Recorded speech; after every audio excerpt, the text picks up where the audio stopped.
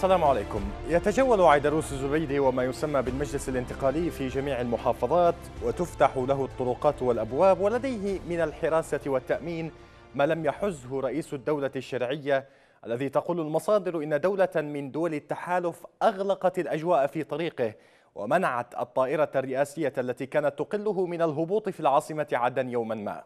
التناقض في المشهد الجنوبي والمناطق المحررة كل يوم يفصح عن مسلك التحالف الذي يقول مراقبون إنه يقف خلف تحركات مجلس عيدروس الزبيدي من شبوة إلى حضرموت للدعوة لكيان لا يمتلك صيغة قانونية أو شرعية ويقدم ذاته ككيان مواز. لم يقتصر الأمر على الجولات المكوكية والميدانية للمجلس الانتقالي بل وصل الأمر إلى مرحلة الضرب على الدولة الشرعية التي تحاول الصمود في المناطق المحررة. والآن حديث عن صيغة نظام سياسي للجنوب يتعارض مع مخرجات الحوار الوطني في تحد صارخ للعملية السياسية التي تمت برعاية إقليمية ودولية. إذا ما الذي ينتظره أو ما تنتظره المناطق المحررة في الجنوب في ظل خطاب تصعيدي يذكر الرأي العام بتصعيد ما قبل انقلاب الحوثيين وحلفائهم واجتياحهم صنعاء؟ وهل تبخرت وعود التحالف في استعادة الشرعية اليمنية بينما يتم إنشاء أشكال سياسية وأمنية مضادة للدولة؟ هل يصبح المجلس الانتقالي كيانا موازيا مضادا للدولة الشرعية في الجنوب؟ قد يفضي أو يقضي على ما يتوفر من ملامح دولة. هذا ما سيحاول المساء اليمني أن يجيب عليه في هذه الحلقة. نبدأ النقاش مشاهدينا الكرام بعد متابعة هذا التقرير. لا يبدو أن التحالف العربي في المناطق المحررة يعمل على تخليق مؤسسات الدولة الشرعية. هذا ما تقوله الصورة القادمة من الجنوب تحديدا.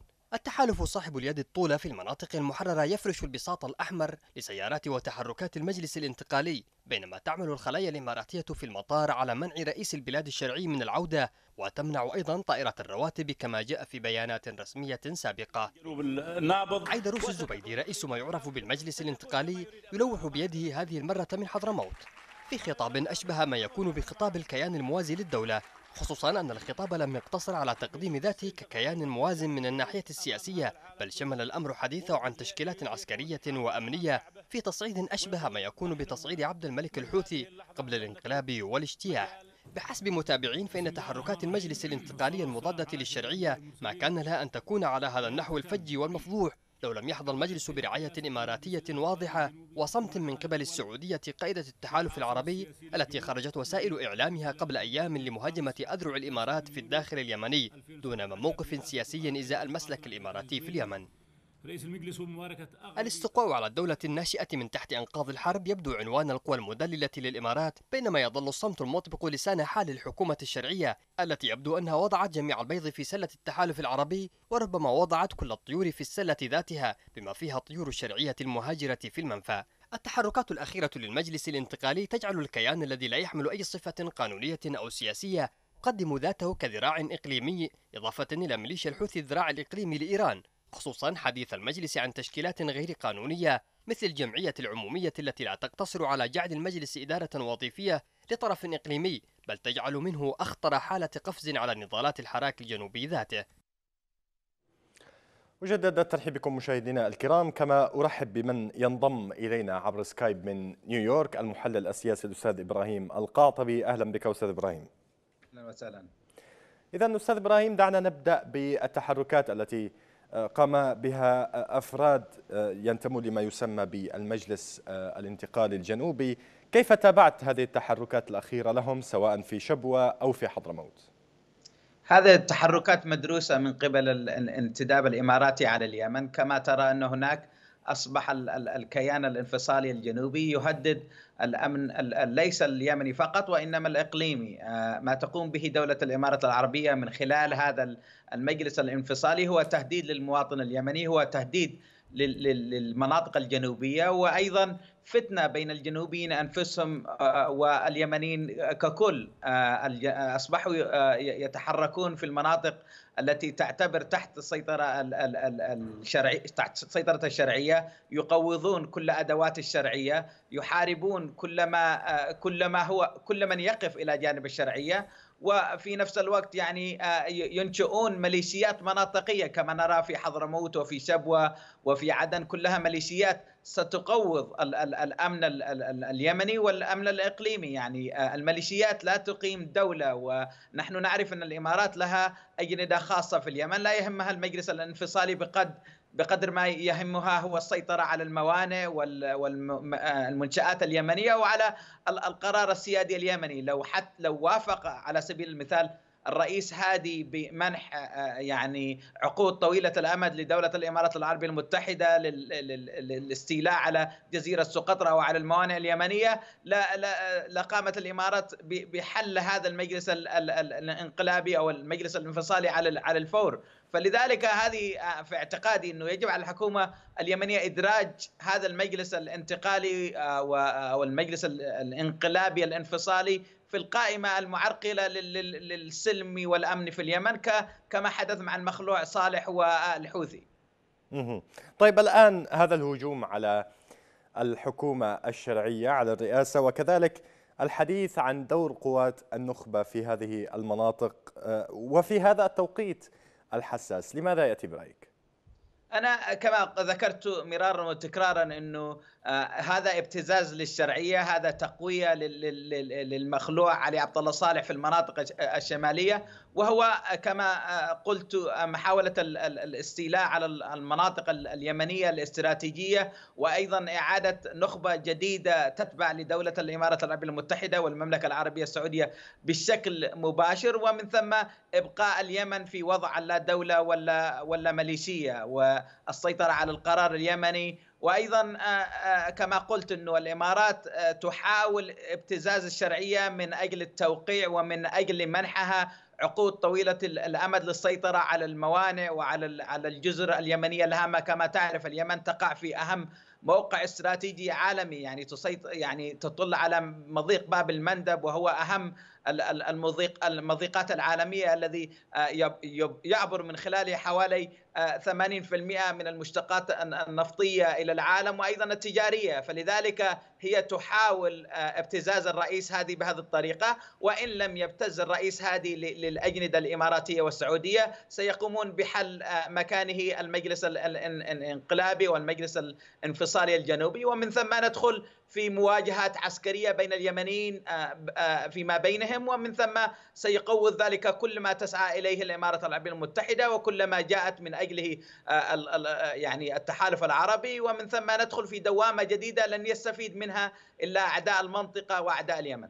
طيب يعني عندما نتحدث عن مثل هكذا جهود ألا تضرب أساسا هذه الجهود فكرة التحالف العربي الذي يؤكد دوما آه، آه، وتدخل دوما على آه، مظلة الحكومة الشرعية ويؤكد دوما عفوا. يؤكد دوما على مرجعيات ثلاث للحل وعلى وحدة اليمن وأمنه واستقراره. ألا تضرب هذه التحركات ذلك كله؟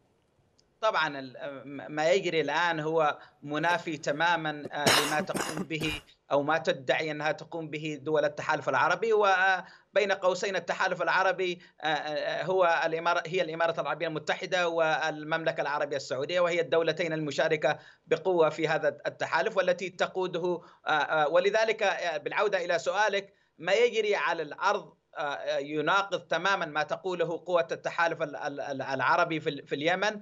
يشرعنون الانفصال؟ يعني يحاربون على سبيل المثال الأحزاب السياسية السلمية في جنوب الوطن ينشئون ميليشيات تقوض الحكومة الشرعية يمنعون الرئيس الشرعي من من من الرجوع إلى اليمن يمنعون الطائرة التي تحمل معاشات اليمني اليمنيين من العودة إلى الوطن وتسمح فقط لمن يقود الميليشيات كبن بريك هاني بن بريك وغيرهم من الذين لديهم ميليشيات مناطقية ودينية. من من من التمتع والتنقل في المناطق المحررة. ليس ذلك فحسب وإنما الانتقال بين الدول الخليجية كالسعودية واليمن بشكل وبطائرات خاصة تتبع لهذه الدول. ولذلك هو آه، آه، هذا يعني تهديد مباشر للشرعية اليمنية. هذا يقوض الأهداف التي أتت من تقول أنها أتت من أجله دول التحالف العربي. فلذلك كل ذلك منافي. يعني نحن رجعنا إلى المسار الأول الاستمرار في هذا العمل أستاذ إبراهيم. الاستمرار في في دعم يعني جهات وكيانات لا تتبع الشرعية خارج نطاق الدولة بشكل رسمي. والاستمرار في دعمها بهذا الشكل الذي يؤثر أساسا على فكرة الدولة لدى أذهان الناس. لما اسمع سؤالك.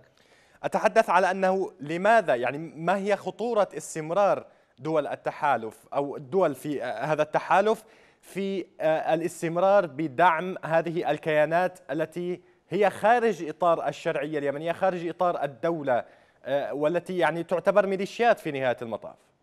أنا في اعتقادي هذا سي أولا سي سيؤسس تأسيسا حقيقيا للاقتتال الداخلي اليمني ليس فقط بين الجنوبيين أنفسهم ومن وإنما شمالا وجنوبا. سينشئ يعني أرضية خصبة لتنظيم داعش والقاعدة. سندخل في اقتطاب استقطابات ميليشياوية ودينية مناطقية. ستقوض ليس فقط كما قلت الأمن اليمني وإنما ستؤثر بشكل مباشر على المملكة العربية السعودية ودول الخليج وعلى الملاحة الدولية ولذلك آه، آه، سيكون لذلك رد عكسي على ما تحلم به الإمارات العربية المتحدة، نحن نعرف أن اليمن وعلى مر التاريخ آه، لا تقبل بالاحتلال، لا تقبل بالانتداب، لا تقبل بأي جنود على أراضيها، فلذلك الأمور في وجهة نظري أصبحت واضحة. هو إبقاء اليمنيين في وضع لا دولة، إنشاء ميليشيات تخدم بشكل مباشر أجندة إقليمية ودولية. ومن ثم يعني هذا كله سيقوض الأمن القومي اليمني والأمن القومي الإقليمي والدولي. نعم. فلذلك هذا خطر على الجميع ويجب على الحكومة الشرعية أن تخرج من عباءة المملكة العربية السعودية. يجب أن تنتقل إلى الدول العظمى المؤثرة والتي لها مصلحة في اليمن مصلحة أمنية واقتصادية وغيرها كالولايات المتحدة الأمريكية وبريطانيا وروسيا. يجب الخروج من العباءة الخليجية لأنها أصبحت بشكل واضح نعم. تقوض الشرعية اليمنية تؤسس لاقتتال داخلي تؤسس لميليشيات وتحاصر الشعب اليمني. نعم أستاذ إبراهيم. طيب دعنا يعني انطلاقا من حديثك هذا دعنا نرحب بضيفنا نائب رئيس الدائرة الإعلامية للمجلس الانتقالي الجنوبي من عدن الأستاذ نزار هيثم. أهلا بك أستاذ نزار. أهلا ومرحبا بك أستاذ العزيز وبضيفك الكريم حياكم الله. اذا يعني لا شك أنك استمعت إلى آه، آه، حديث أو أجزاء من حديث الأستاذ إبراهيم. آه، لماذا هذا الخطاب التصعيدي الآن للمجلس الانتقالي الجنوبي في هذا التوقيت تحديدا؟ اولا لم استمع لما قاله الأستاذ العزيز لكن بمجمل الحديث كان هناك هجوم غير مبرر على المجلس الانتقالي الجنوبي وعلى التحالف العربي وهذه خطيئة للأسف لا نعرف من هو المسؤول وراءها ومن وما هي الأهداف التي تبحث عنها تلك القوى الحزبية التي تريد لليمن أن يظل في حروب مستمرة. الكل يعلم أن المقاومة الجنوبية والتحالف العربي حققوا انتصارات على الأرض وهذه الانتصارات كانت تعزز للشرعيه التي يقول الأخ أننا ضد الشرعية وهذا كلام أيضا خاطئ. نحن نسند الشرعية حتى تنتصر على الانقلابيين ولكن المعضلة الحقيقية أنه خلال الأعوام الماضية لم تكن هناك جدية في الأطراف الأخرى وبالتحديد حزب الإصلاح من تحقيق أي انتصارات في المناطق الشمالية وهذا ما دعا بالجميع أن يدعم القوى الجنوبية وممثل المجلس الانتقالي الجنوبي لترسخ أقدامها الحقيقية بمختلف المحافظات المحررة وتؤمنها من أي أحداث مستقبلية قد تطرق من قبل الانقلابيين. طيب يعني كيف نتحدث عن أن هذا التحالف هو مع الشرعية وهذا المجلس هو مع الشرعية وهناك حديث يهاجم هذه الشرعية وهناك آه، قوات لا تسمح لهذه الشرعية ممثلة برئيس الجمهورية بالمجيء إلى آه، العاصمة المؤقتة عدن في خضم كل هذه الإشكالات التي تتحدث عنها وخضم هذا الوضع الصعب ووجود تهديد بالنسبة يأتي من الانقلابيين. آه، هذه طبعا مغالطة أخرى. الشرعية آه، لا زالت تتمثل بالرئيس هادي والكل يعلم هذا عندما آه، يتكلم السعوديين عن حقوق معينة فهم ينتقدون حكومة الفساد التي للأسف أثبتت فشلها. هنا يجب أن نفصل ما بين الحكومة الفاسدة التي يجب أن آه، تنتهي تماما بحكم فشلها الذريع خلال الفترة الماضية والتي لم تحقق مطالب لا المدنيين ولا العسكريين ولا أيضا توفر الخدمات للعامة. أستاذ نزار لكن الآن الحديث عن بامكانه العودة في أي وقت إلى عاصمة الجنوب. عدن وبالتالي الموضوع بعيد تماما عن هذا الذي طرحته يعني شرعية الدولة هي تقول أن عاصمة المؤقتة للجمهورية اليمنية هي هي عدن الآن. لكن عندما نتحدث الآن أستاذ نزار على أن هناك فساد وهناك تقصير من قبل الحكومة وهناك اتهامات بالإرهاب أو بالدعشنة كما كان يحدث في مرحلة ما قبل اجتياح صنعاء من قبل الحوثيين هناك كثيرين يطرحون أن الخطاب الذي يقدمه المجلس الانتقالي الآن يشابه الخطاب الذي دخل به الحوثيون إلى صنعاء ومن ثم اجتاحوا به بقية المحافظات لماذا يحدث ذلك؟ آه، للأسف هذا بسبب تواجد بعض القوى المحيطة بالرئاسة وبالتحديد حزب الإصلاح الذي هيمن على الرئاسة وعلى القرار الشرعية وبالتالي بدل أن يكثف هجومه على الانقلابيين لينتصر حول المسار إلى اتجاه الجنوب وهاجم الجنوبيين وحاول بقدر الإمكان إقصاء القيادات الجنوبية التي كانت هي أساسا آه، بعضها من المحافظين في المحافظات الجنوبية. هذا ما دعا بالجنوبيين إلى استثار قواهم وتراص صفوفهم ليلتفوا مرة أخرى حول قيادة المجلس الانتقالي الجنوبي حتى يواجهوا هذه القوى التي لا تريد للجنوب خيرا ولا لليمن عموما أن آه، يكون آه، بحال سلم أو انتصارا في المعارك أستاذ نزار لكن في المقابل هناك أجهزة محسوبة على المجلس الانتقالي وناس آه، يعني آه، قوات أمنية أيضا هاجمت آه، هذا الحزب يعني حزب الإصلاح ومقرات له في العاصمة المؤقتة عدن ويعني أسهمت في إشعال الوضع في هذه المحافظة أو في هذه العاصمة المؤقتة. الآن عندما يتم اتهام أبناء المحافظات الجنوبية غير المتوافقين سياسيا بالإرهاب هناك تشابه مع خطاب سبب فوضى بداخل البلاد وسبب اجتياحا لبقية المحافظات الجنوبية وهو ما يعني قاومه اليمنيون منذ آه، الانقلاب في 21 سبتمبر لماذا يتكرر هذا الخطاب الآن من قبلكم؟ آه، هذا الخطاب غير صحيح. نحن الجنوبيين متحدين حول آه، قيادة المجلس الانتقالي الجنوبي. قضية الجنوب الكل يعرفها ليست وليدة اليوم ولكنها 94 وهذا الأمر لا يخفى على الجميع. وأيضا عندما اجتمعوا في صنعاء وأقروا آه، حوارهم الوطني أقروا أيضا بحق الجنوبيين بالتمكين السياسي.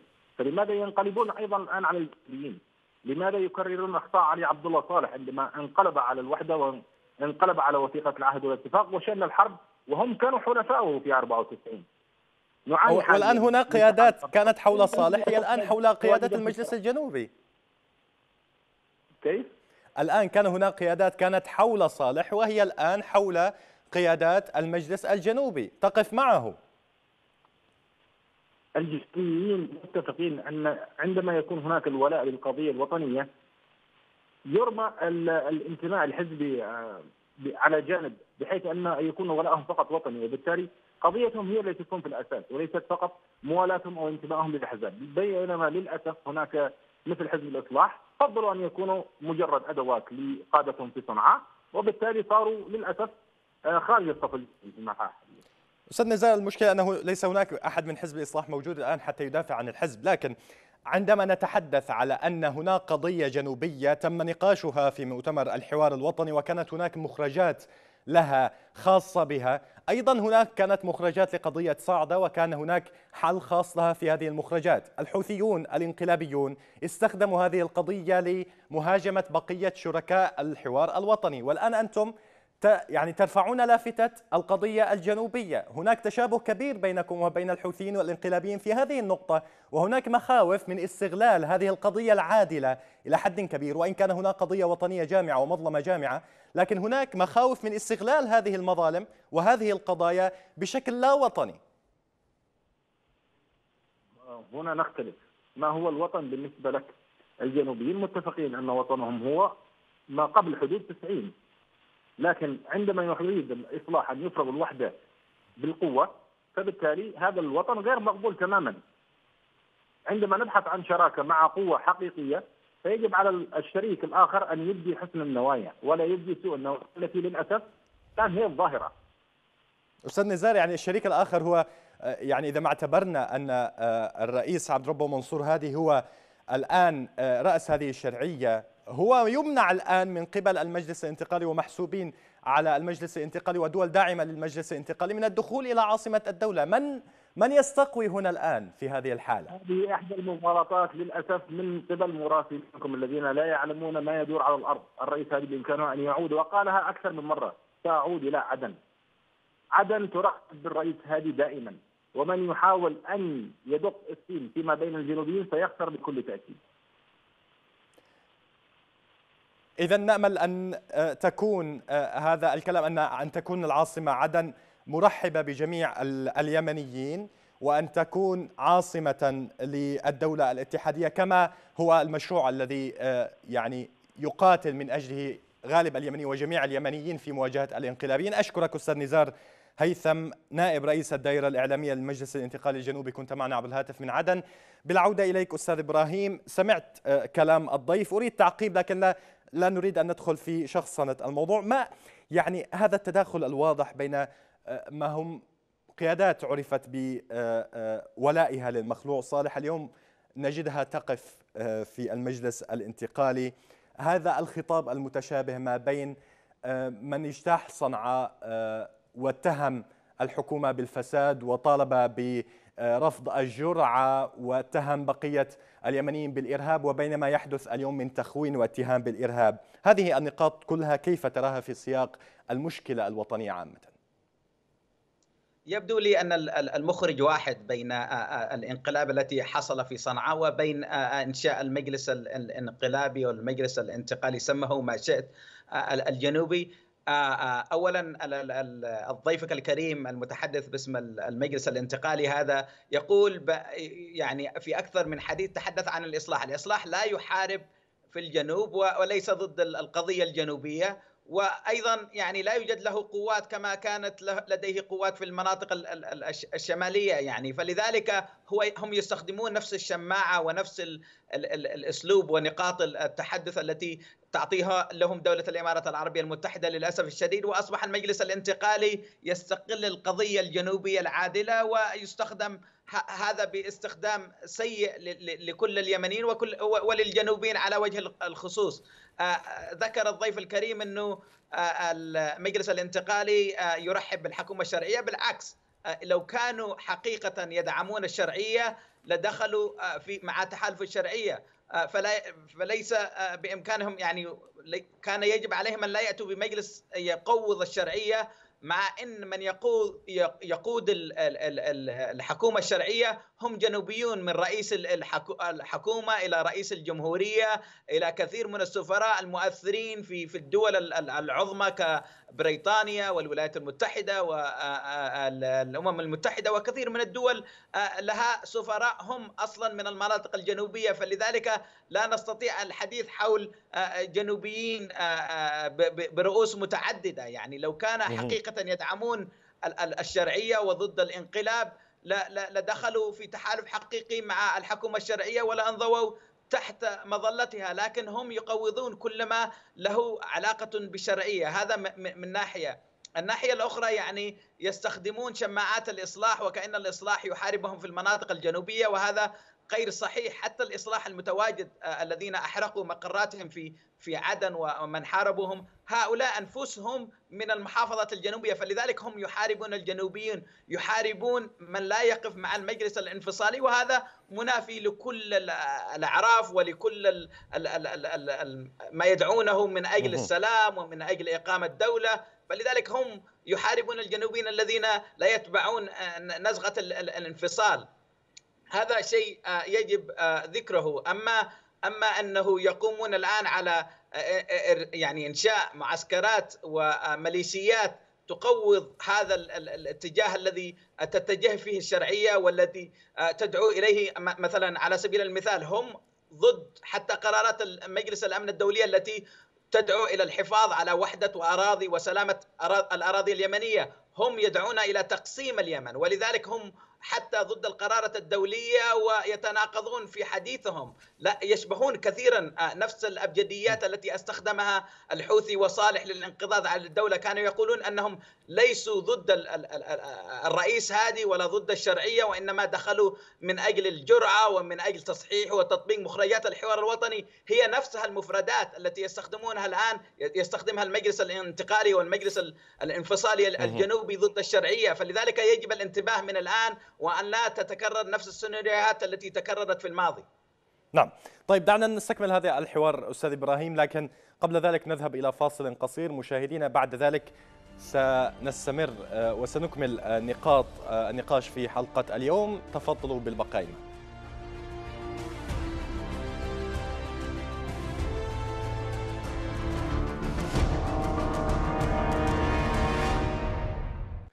أهلا بكم من جديد مشاهدينا الكرام إلى هذه الحلقة من المساء اليمني. كما اجدد الترحيب بضيفنا عبر السكايب الأستاذ إبراهيم القاطبي المحلل السياسي الذي آه، هو معنا من نيويورك. اذا آه، أستاذ إبراهيم الآن يعني في ظل كل هذا كل هذه الخطابات وكل هذا التصعيد الذي نراه هناك نوع من الصمت المحيط من قبل الحكومة الشرعية لما يحدث في آه، المحافظات المحررة تحديدا في عدن وما جاورها.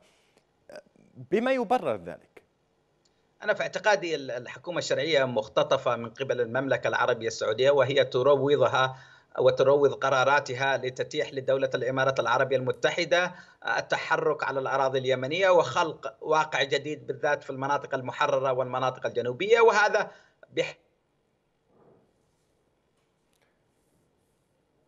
أستاذ إبراهيم يبدو أن هناك إذا إشكالية في التواصل مع الأستاذ إبراهيم القاطبي الذي كان معنا عبر السكايب من نيويورك. إلى حين عودته مشاهدينا الكرام كان معنا قبل قليل الأستاذ آه، نزار. إذا عاد إلينا الأستاذ إبراهيم. أهلا بك مجددا. تسمعني الآن؟ نعم أسمعك. جيد. كنت تتحدث عن يعني الحكومة الشرعية والصمت المحيط ب يعني بما يحدث في المحافظات المحررة تحديدا في عدن وما جاورها أنا في اعتقادي أنه ما يجري بالنسبة للحكومة الشرعية هي أصلا مختطفة في الرياض لا تملك قرارها ويروض قرارها النظام السعودي من أجل أن يتحرك النفوذ الإماراتي في اليمن آه، بشكل آه، يعني آه، طلق ولا لكي لا يوجد أمامه أي أي من يوقف هذا التوقف في المناطق الجنوبية. ومن ثم تخلق واقع جديد بحيث أنه يتم مقايضتها بما يملو على الرئيس هادي كل ما يجب لأن القرار في الأرض قد تغير. فلذلك أنا في اعتقادي ما تقوم به دولة الإمارات العربية المتحدة والنظام السعودي على المناطق المحررة بالتحديد سيخلق صراعا داميا بين الجنوبيين أنفسهم ومن ثم سيخلق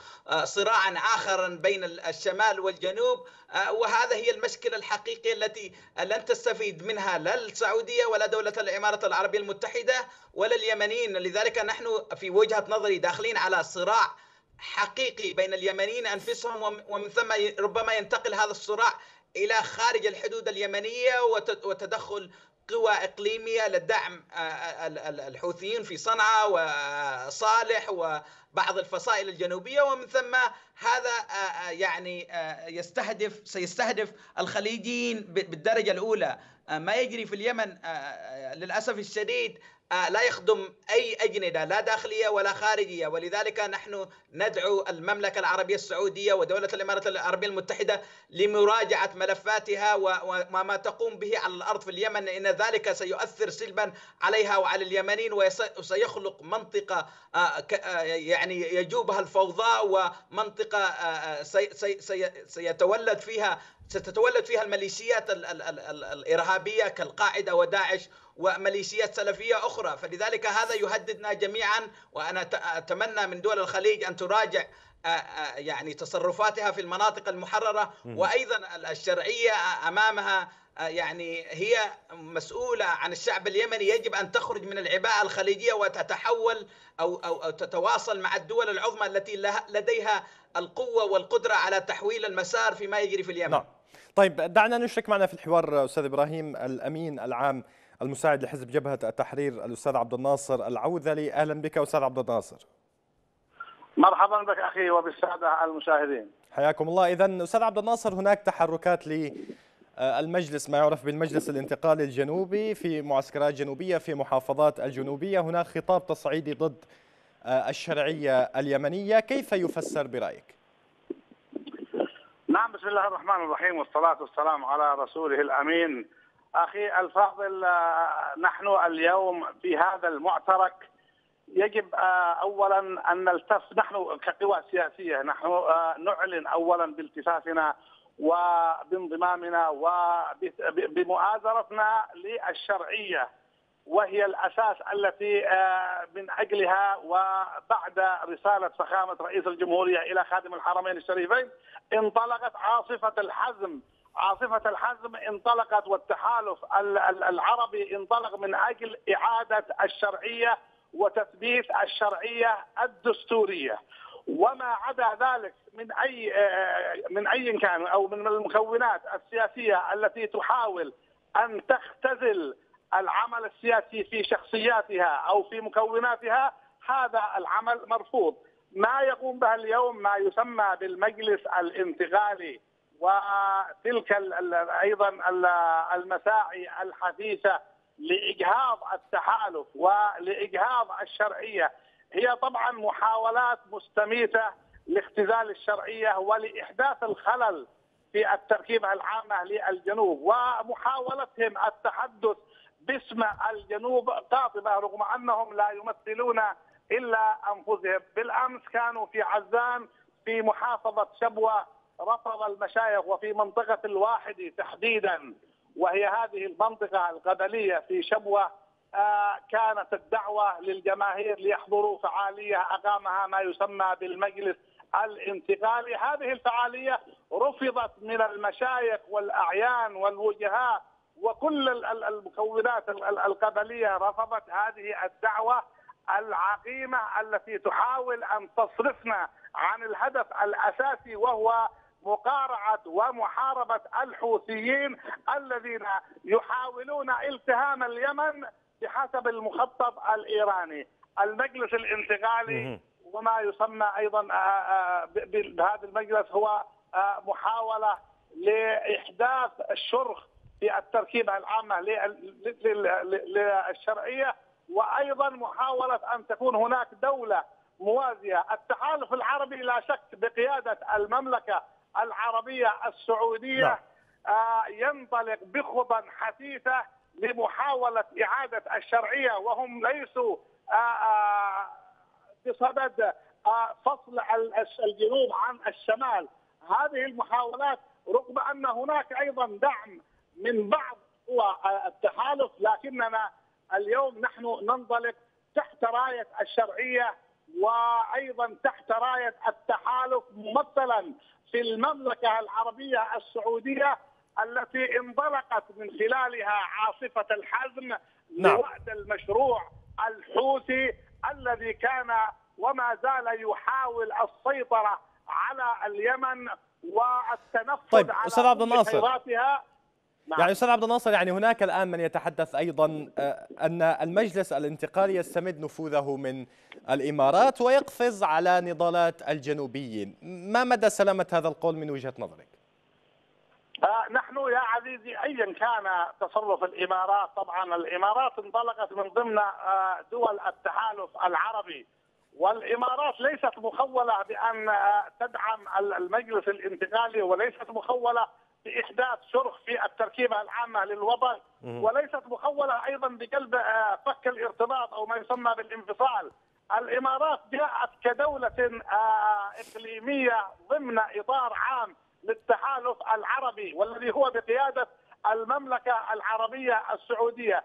إن كانت هناك أخطاء وإن كانت هناك أيضا تجاوزات فهذه التجاوزات هي تجاوزات لا يمكن أن تقفز على الحقائق الواقعة أيضا الحقائق التي هي مشهودة وأمام وأمام رأي العين. فالإمارات هي دولة من ضمن التحالف. إن كان هناك تعويل على الإمارات من قبل المجلس الانتقالي فهم لا شك يتمسكون بخيوط العنكبوت لأن الإمارات في الأول والأخير تنطلق من مصالحها الخاصة. وليست بصدد ان أن تجلب آه، للجماعة لكن السؤال. أصحاب المجلس الانتقالي أن تجلب لهم الانفصال، هذا الأمر هو ضربا من الخيال وهو طيب السؤال هنا إذا أستاذ عبد الناصر. يائسة لأولئك الذين يحاولون التشبث بالإمارات. اذا السؤال هنا أستاذ عبد الناصر أنتم كقوى آه، ومكونات جنوبية وأيضا للشرعية ما الذي نعم. يعني الآن هناك مهمة وهناك مسؤولية تاريخية ووطنية في سياق المعركة الذي يعني يخوضها جميع اليمنيون أمام الانقلابيين. لماذا لا يعني يحدث تحرك من قبلكم للوقوف ضد هذه التحركات لا الوطنية كما يصفها كثيرون؟ يا عزيزي طبعا هناك تحرك للمجلس الانتقالي ولا شك أن هذا التحرك مرغوب. من التحالف العربي وعلى رأس هذا التحالف المملكة العربية السعودية. والشرعية كذلك أيضا تراقب ما يحدث على الساحة. ولا شك أن التحالف العربي ممثلا بالمملكة والشرعية ممثلة في في فخامة رئيس الجمهورية المشير عبد الربه منصور هادي. هم يحاولون بمحاولات آه، لرأب الصدع وأيضا لا يريدون ان آه، يصرفوا العمل القتالي على الجبهات في مقارعه الحوثيين إلى مناوشات داخلية يحاول المجلس الانتقالي أن يستثيرها على الساحة من خلال تحركاته في بعض المناطق والمحافظات الجنوبية. ولا شك أن الشرعية حريصة حرصا بالغا على سلامة وأمن المواطن. آه، أولئك وما يسمى بالمجلس الانتقالي هو يحاول أن ينطلق من منطلقات آه، حزبية مغيثة ويحاول أن يختزل آه، الأمور في هذا المكون السقيم الذي ولد ميتا والذي لا يحمل الصفة الشرعية والقانونية هو مجلس يحاول أن يختزل الجنوب كاملا في هذا المجلس رغم أن نعم. قوى الحراك السلمي ترفض هذا المكون وهناك تصريحات للعديد من قوى الحراك وهي التي على الساحة وهي التي تناضل نضال آه، شرعي سلمي والذي انطلقت منذ العام 2007 وهي تناضل. هذه القوى ترفض أيضا هذا الاختزال الذي يقوم به ما يسمى بالمجلس الانتقالي والذي يحاول أن آه، يجعل من نفسه وصيا على الشعب الجنوبي ويحاول نعم. ان يقصي ويهمش كل المكونات الأخرى. لا شك أن الشرعية والتحالف يرفضون ذلك. وما يقوم به. المجلس الانتقالي لا شك أنه مرصود وبالتالي لا يحيق المكر السيء إلا بأهله. هم يحاولون أن يفشلوا التحالف. ويحاولون أن يفشلوا عاصفة الحزم تعاونا منهم مع الحوثي والمخلوع لأنهم ينفذون نفس الاستراتيجية وينطلقون من نفس الأهداف التي ينطلق منها الحوثيون والمخلوع. وبالتالي نعم، تتشابك أو تتشابه الاستراتيجيات. أولئك لا يمثلون الشعب الجنوبي وما سمي بالمجلس الانتقالي. آه الوزير آه هاني بن بريك تم إقالته وهو مطلوب للتحقيق. اذا هو خارج إطار القانون وهو ملاحق أيضا ويجب أن يمثل أمام القانون. آه الزبيدي كان محافظا ثم أقيل وهو لا يمثل صفة شرعية ولا قانونية، أحمد بن بريك كان محافظا واقيل لاخفاقاتهم على آه، مستوى أعمالهم التي كلفوا بها، وبالتالي هم لا يمثلون شيء. هؤلاء يحاولون أن يصنعوا من أنفسهم من أنفسهم رموزا جنوبية لكنهم يحاولون ولا يمكن لهم أن يكونوا رموز لأنهم خارج إطار القانون وما يقومون به آه، لا ينطلق اولا مع نعم. آه، توجهات التحالف ولا عاصفة العالم. أشكرك الأمين العام المساعد لحزب جبهة التحرير الاستاذ عبد الناصر العودة على تواجدك معنا في حلقة آه، اليوم. بالعودة إليك أستاذ إبراهيم.